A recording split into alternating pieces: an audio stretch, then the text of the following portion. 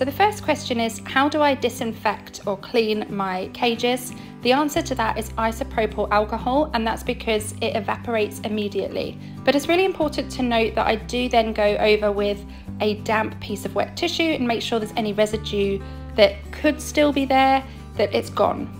I let the girls potter around in and on top of their cage and just outside in front of me and over me whilst I'm doing the cleaning process. And this is because it just doesn't disturb them too much and they quite like being involved in the process and I find the same thing with my mice.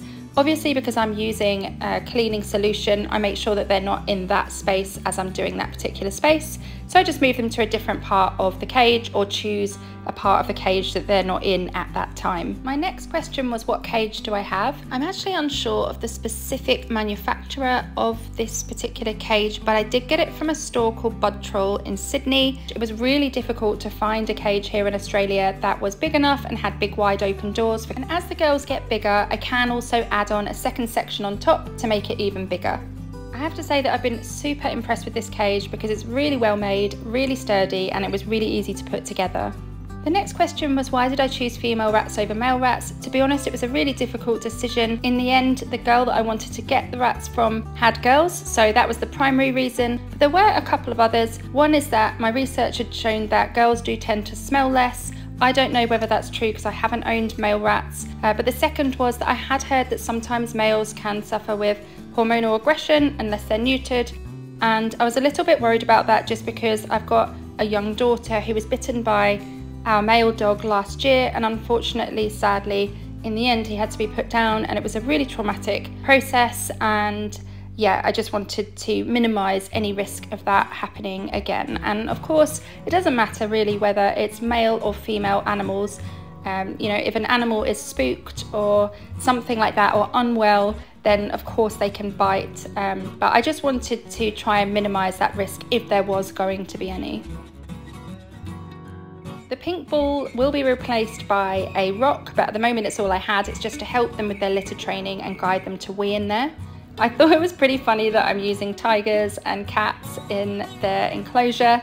It actually just happened by chance, but yeah, they're bits of fabric for them to stand on. This tunnel is a cat tunnel. And I don't know whether you just spotted that picture, but my partner did dare me to put it over my head because it was so big and I just thought it was a really funny photo. So this is, I think that's pigs. So yeah, fabric I use as hammocks. So you can save yourself a lot of money on hammocks by just making them yourself.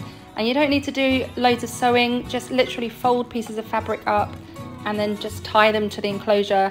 They make really nice little hammocks that you can switch out throughout the week if they do get any wee on them or anything like that. I don't have a wheel for my rats yet because I haven't found the one in Australia that I wanted and ordering them internationally was really stacking up on cost.